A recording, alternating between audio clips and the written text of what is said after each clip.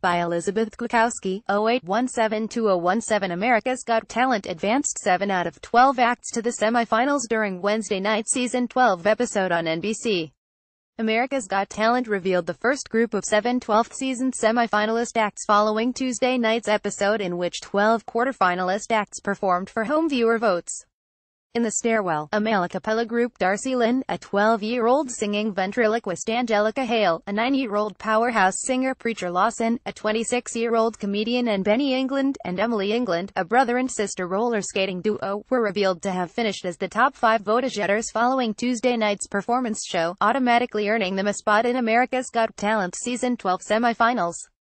The four lowest votagetters, who were immediately sent packing, were Artyon and Paige, a child dance duo The Singing Trump, a 56-year-old Donald Trump impersonator Puddles Pity Party, a 53-year-old sad singing clown and Bello Nock, a 47-year-old comedic daredevil.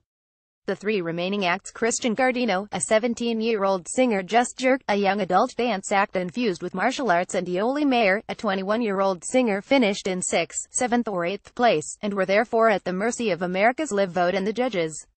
The Dunkin Save which allows home viewers a 30-minute window to vote for their favorite act, eventually saved Christian from elimination.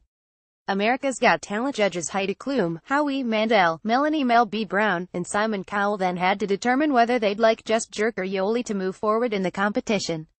Before the judging panel cast their votes one by one, Simon announced that America got the entire night 100% right, in his own opinion, and he was thrilled with the results. Heidi revealed that her heart belonged to Yoli, so she voted for the passionate singer to advance. Mel then said she was going with her gut, choosing to advance Just Jerk because she's never seen a dance act like them. Simon noted both acts could potentially be amazing but they weren't their best during the performance show. With that being said, Simon voted to see Yoli go the semifinals. Howie then opted to advance Just Jerk, saying the group is the epitome of a dance crew and by far the best he's ever seen. Due to the tiebreaker, America's Got Talent host Tyra Banks announced which act had received more votes from Tuesday night's performance show, and that person was Yoli. Just Jerk was eliminated from AGT as a result.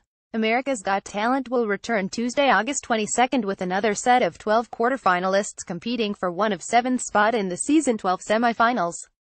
Those acts will be Johnny Manuel, Light Balance, Demian Aditya, Americana, Celine Tam, Pompeyo Family, Evie Clair, Brobots Mandroids, The Masqueraders, Eric Jones, Mirror Image and Mandy Harvey.